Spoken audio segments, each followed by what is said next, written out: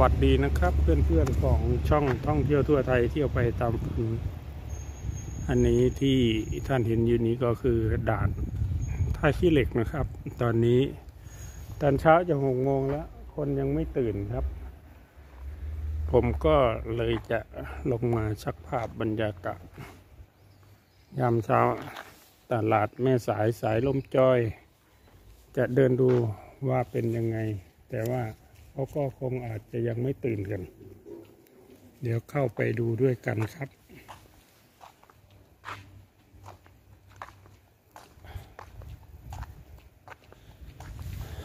เขาก็ได้โอกาสปิดซ่อมแซมพอดีอันนี้คือด่านชายแดน ก็จะเดิน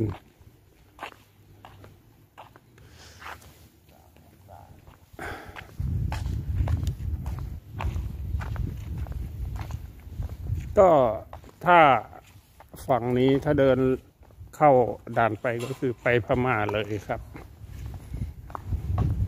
แต่ว่าถ้าเดินมาข้างนี้ก็เป็นตลาดสายสายลมจอย อันนี้ก็คือยามเช้า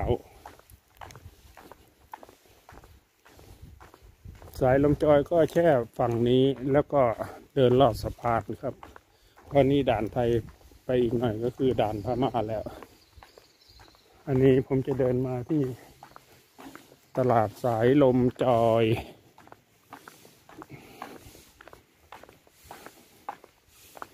ดูบรรยากาศยามเช้า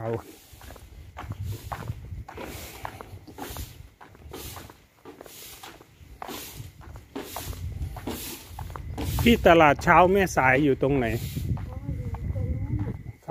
อันนี้พวกตลาดสายลมจอยเขาเปิดกี่โมงปกติประมาณเก้าโมงพอเปิดสายก็ดึกสายค่ะตอนนี้มันเงียบนักท่องเที่ยวคงไม่เยอะเนาะค่ะเพราะว่าของเราก็แค่เดินอ้อมสะพานไปนี่ลอดใต้กลับใช่ไหมขึ้นไปข้างบนก็ไปถ่ายรูปเหนือสุดยอดในแสงอ๋อเขาเขาให้ถ่ายได้อยู่ใช่ไหมได้ค่ะคือไปที่สะพานแล้วจะมีบันไดขึ้นไปอ๋อที่เขาถ่ายรูปเออค่ะค่ะนี่เยอะๆอะเนาะค่ะ อยู่ที่ผมจะหาคือตรงนั้นเลยอ๋อไปเลยค่ะเนี่ยครับ จะมีบันไดขึ้นได้อยู่เนาะขึ้นได้แล้วก็เอ่อก็เดินไปหน้าร้านก็เดินฝั่งโน้นกลับ กลับไปฝั่งนู้นเลยอ๋อ ขอบคุณครับ ผมหาตัวนั้นแหละ เดี๋ยวรอเพื่อนอีกสองสามคน ตรงนี้ก็คือตลาดสายลมจอยนะครับ ซึ่งเป็นตลาดใหญ่ ถ้าไม่มีสถานการณ์โควิด คนเยอะมาก คนพม่าก็ซื้อฝั่งมาซื้อฝั่งของบ้านเราเยอะ แต่ว่ามัน อย่างว่าถามพี่เมื่อกี้นี้เขาให้ข้อมูลว่า เขาเปิดที่สามโมงเช้าครับ อันนี้ผมผมมานี่นี่ต่อเวลาตอนนี้ก็คือหกโมงละหกโมง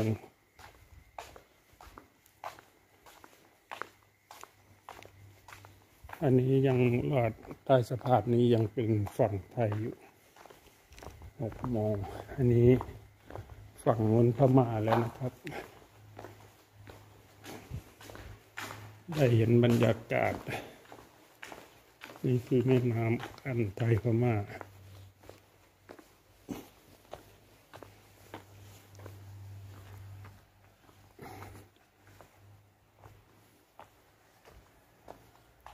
ฝั่งนี้ก็เป็นของเรา ที่จะมาก็คือ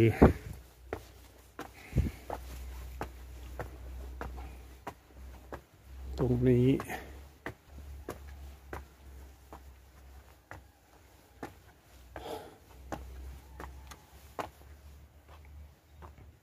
เหนือสุดแดนสยามครับ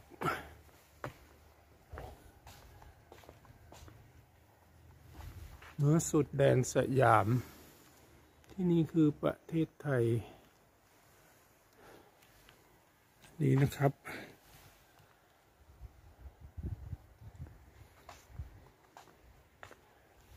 เห็นได้ว่า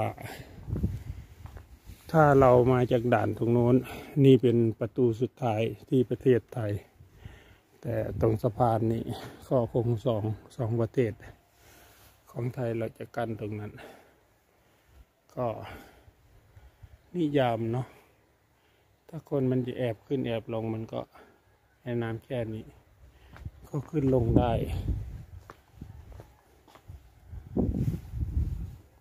ก็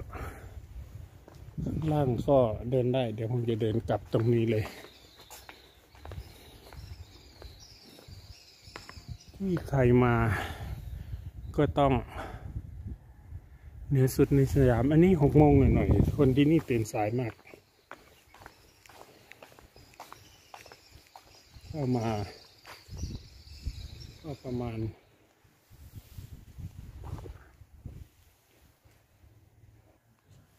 ตรงนี้เป็นป้ายเหนือสุดแดนสยามที่เห็นกำแพงรอบนี้ ถ้าใครทำปั๊มบัตรผ่านซุ้มประตูประเทศไทยมาแล้ว จะออกด้านข้างนี้ไม่ได้ครับ ติดนี่ ต้องเดินไปพม่าอย่างเดียว ก็ถ้ามีพาสปอร์ต ตอนนี้เขาปิดด่านนะครับ เขาไม่ให้ข้ามไปข้ามมากัน เนื่องจากโรคระบาด ก็ตลาดสายลมจอยที่เห็นเมื่อสักครู่ ถ้าจริงๆ แล้วคนที่เดินก็มีแต่คนพม่าข้ามมาซื้อของเขาว่าอย่างนั้น ทั้งของกินของใจเขาจะมาซื้อวิธีเยอะ ตลาดก็ขายดีไปด้วย แต่ตอนนี้มันอยู่ในช่วงระบาดของโควิด อันนี้หกนาฬิกาจะครึ่งแล้วนะครับ ร้านรวงก็ยังไม่เปิด ก็ไม่รู้จะเปิดยังไงคนมันไม่มีเขาเปิดเริ่มเปิดสามโมง สามโมงก็เงียบลงเหลง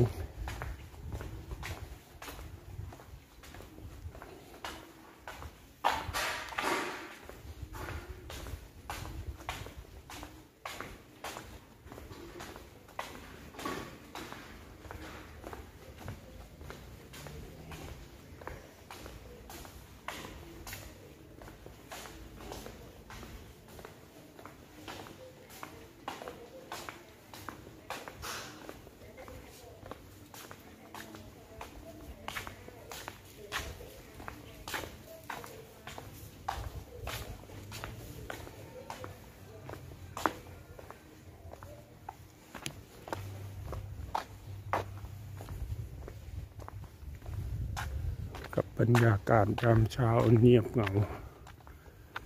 ของตลาดซ้ายลมจอย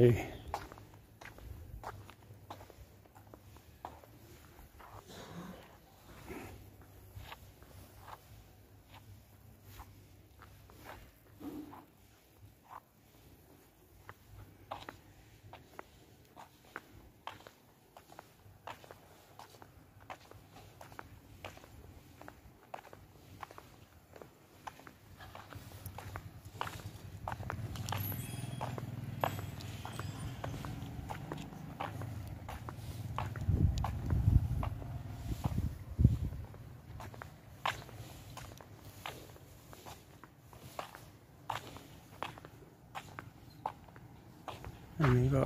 เป็นโรงแรม ถ้าเทียบกับปอยเปรตฝั่งแม่สายนี่ น่าจะจะเลินกว่าปอยเปรตมาก่อน ก็เป็นตลาดใหญ่แล้วก็อำเภอใหญ่อยู่ติดชายแดนตัวอำเภอ แต่ของปอยเปรตตัวอำเภอมันไม่ได้ติดชายแดนครับ นี่แค่ตลาดลงเกลือก็ใหญ่โตพอสมควร ตลาดแม่สายนี่เขาบอกว่า ติดต้นๆเลยเพราะว่าเป็นตลาดใหญ่คนเดินเยอะ น่าจะเยอะกว่าฝั่งลงเกลือ ถนนพหลโยธินก็เหมือนกับสิ้นสุดที่ตรงนี้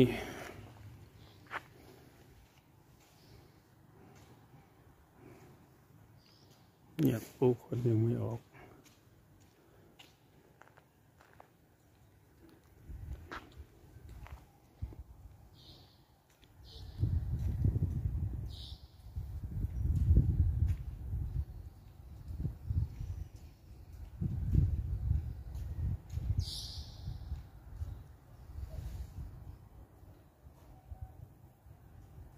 วัสดีนะครับ เพื่อนเพื่อนของช่องท่องเที่ยวทั่วไทยเที่ยวไปตามฝันจุดที่ผมยืนอยู่นี้ก็เป็นจุดชมวิวดอยพาหมี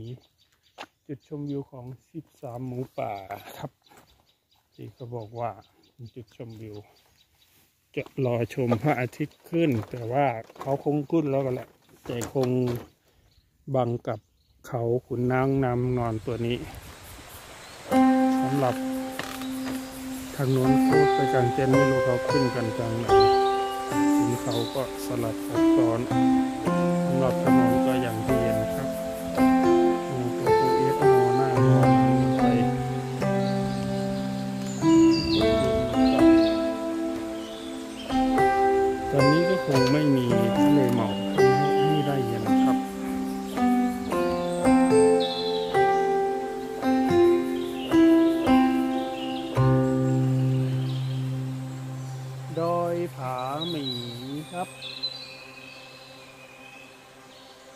ดอยกุดนางนำรอนบ้านผาหมี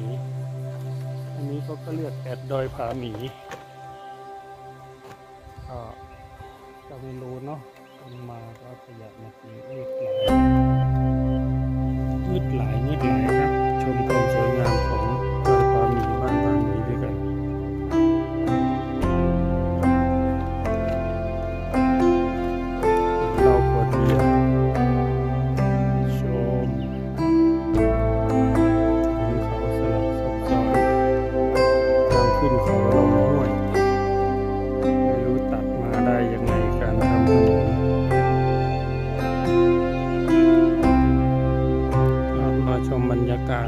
วงอาทิตย์โผล่รับขอบฟ้า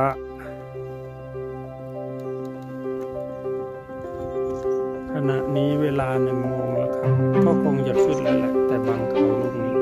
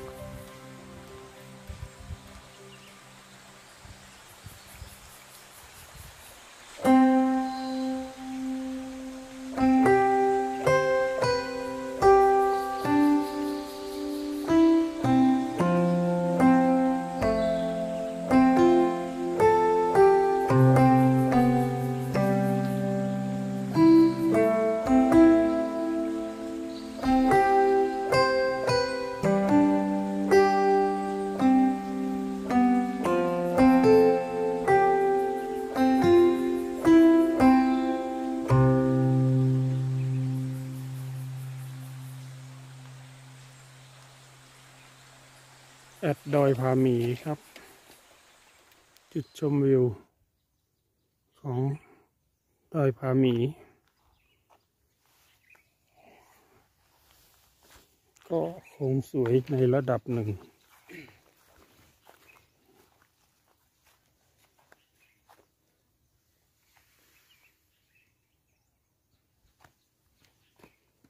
เขาสลับซับซ้อน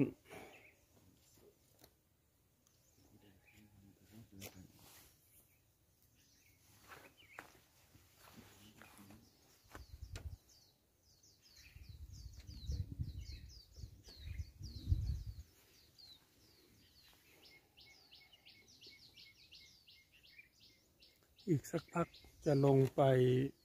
ทำขุนนางนางนอนครับ นี่ก็ชมวิว แต่วันนี้ไม่มีทะเลหมอกให้ได้เห็น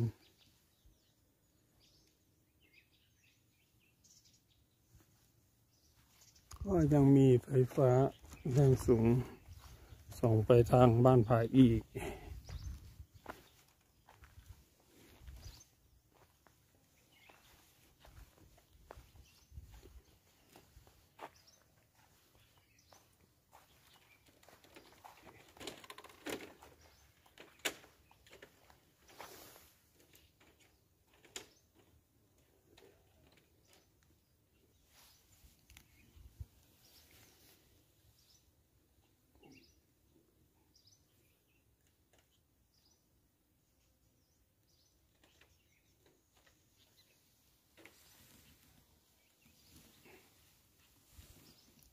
สวย